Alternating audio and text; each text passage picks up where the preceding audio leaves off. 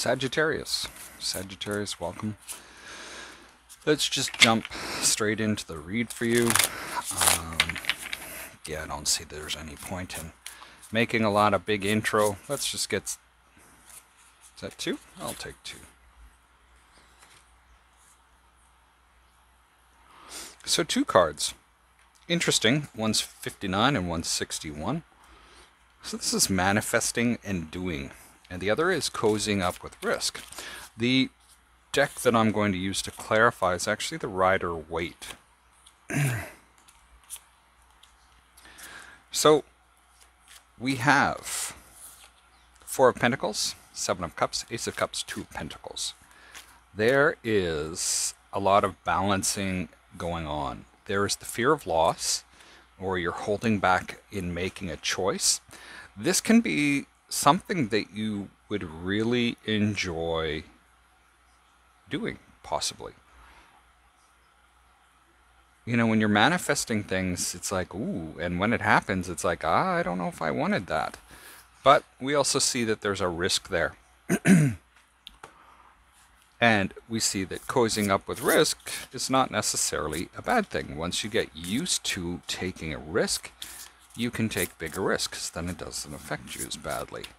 Um, your desire, though, is to move beyond the intention of doing something into believing. Now, this ties in perfectly well with what is going on.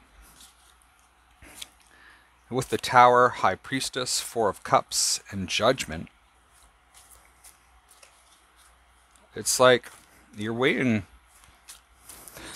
for like that divine sign that cannot be mistaken but at the same time, you're still kind of like, well, it's almost like you need to be shoved off the fence. You're still desiring, you know, this change, this this moving on, manifestation, whatever.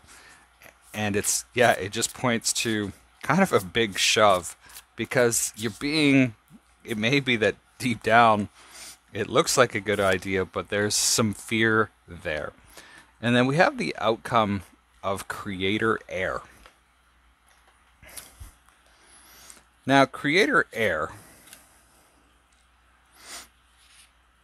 this can be a few things. And it's looking at that critical thinking. Looking at all the things you know to be true and what is actually supporting you. So this is being very, very analytical. Queen of Cups, Queen of Swords, Eight of Pentacles, and the Emperor.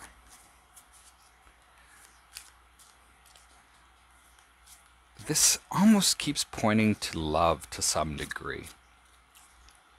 With Queen of cups here. This can be that even though you're being analytical about things, you can be very caught up in your emotions.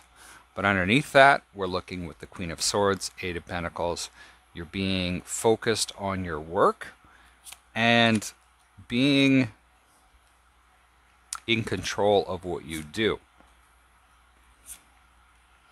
What's working for you, though?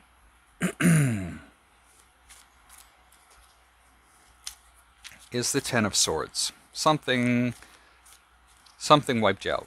Something is over. Uh, or what you thought was over.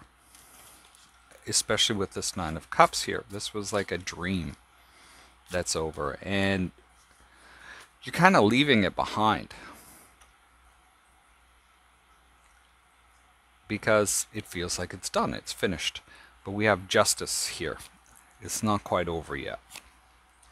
Seven of Swords, the Devil, the Two of Swords, and the Seven of Pentacles. So the Seven of Swords, yeah, okay, somebody's being a little sneaky here. It may be tempting to sort of just ignore it with the Two of Swords. But what is that going to bring out later? We have the Ten of Wands, the Ace of Pentacles, and the Page of Wands. There's a lot going on for you. It's been going on for a while.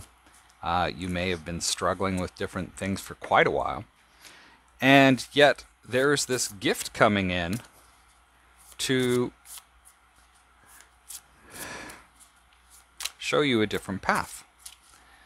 With this Ace of Pentacles, there's a new start, possibly in work or career. And then we have the Page of Wands that's bringing that information through to you. Hmm, two more. Creator Alchemy and Cut the Cords of Doubt. So there is, you know, kind of what we've been talking about, that there has been a lot of uncertainty. But realize that with Creator Alchemy here, there's a lot that you are able to do. And Creator Alchemy this is just figuring out the purpose and passion. Um, walking that new road to success. So, Sagittarius, that's what I have for you today.